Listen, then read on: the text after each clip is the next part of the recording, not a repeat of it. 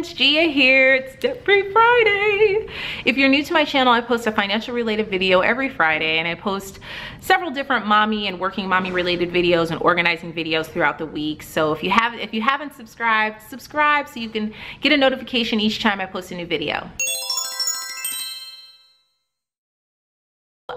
Tagged by the channel Living with the Edges to post five things that I'm able to do or that we as a family are able to do because we're debt free. So let's jump right in. The first thing that I'm gonna say uh, that I'm probably the most proud of is the fact that because we're debt free, we are able to send our daughter Zara to a really, really great preschool. I mean, it's like I fell in love with this school from the minute I walked in. I love it. And it's very expensive. The tuition is very high. And, you know, with Ava still in daycare, it, it's pretty expensive uh, for us.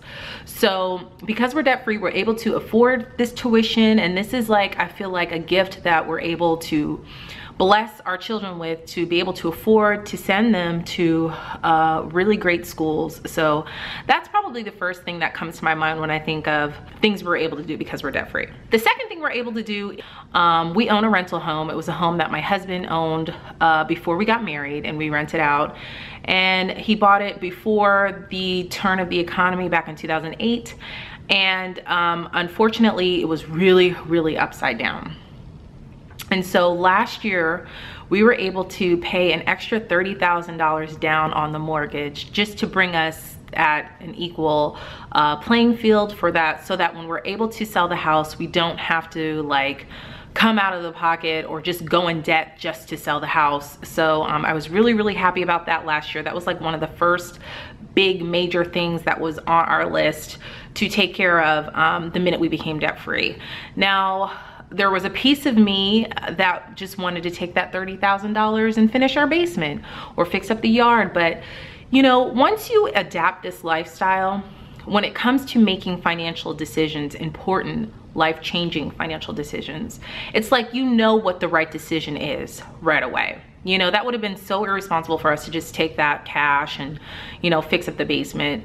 Um, we want to make sure that we don't put ourselves in harm's way in the future. So that was the best deal for that. That was the best uh, idea to do with all that extra cash is just pay down on that house so that, you know, we won't be so upside down. The third thing we're able to do is we are able to cash flow everything. Like we have a car fund. Our, our, our three biggest things that we're gonna be cash flowing within the next couple of years are is a car fund, um, finishing the basement and fixing up the yard. We're cash flowing all of those. I mean, we cash flow everything, but just to be able to cash flow such a big expense, you know, it just feels so great. You know, of course it's not fun letting go of all that cash because you start almost becoming a cash hoarder. But the fact that we are going to be financially responsible and cash flow those things, if it's something that you want, if you can't pay cash for it, then you can't afford it. I have fully adapted that lifestyle, my husband and I both. So we're cash flowing all those big major projects for our home and for our car. And that's something that we definitely wouldn't have been able to do if we were still in debt. The fourth thing that we were able to do because we're debt free is um, we refinanced our home to a 15 year mortgage. And I actually did this because of the way that we kind of went about planning to get out of our debt. And if you're interested, we do a zero-based budget. You can click this box here and I will also insert a card. But because we planned it out to the T, I knew exactly what month we were going to be debt free. And so earlier that year, I just decided to go ahead and refinance our home to a 15 year mortgage um, because we were originally in a 30 year mortgage. And that's something that we definitely wouldn't have been able to afford to do if we still had all of that debt.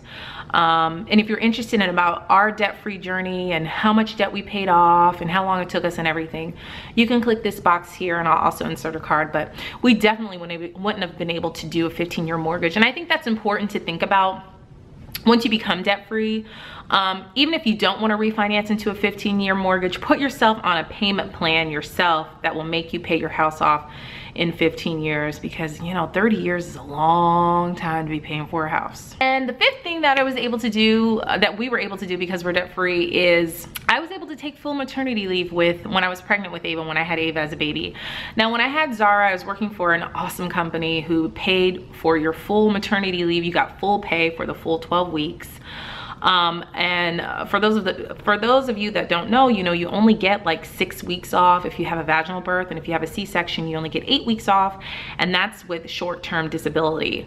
Um, so you're only getting a percentage of your pay, only a percentage of your pay. So um, when I got ready to have Ava, we were able, I was able to stay home for the full 12 weeks with no problems because we saved for that. We cash flowed that and just saved um, so that I was able to do that, which is a huge blessing. So those are just some of the things we were able to do. I mean, it is, it's amazing being debt free and I hope to inspire someone to just keep going if you're in the midst of trying to pay off your debt, keep going because it, it is, it is endless the amounts of things that you're able to do because you know you know you never realize how debt holds you down and holds you back from accomplishing things. Um, throughout your life. So I hope to inspire someone.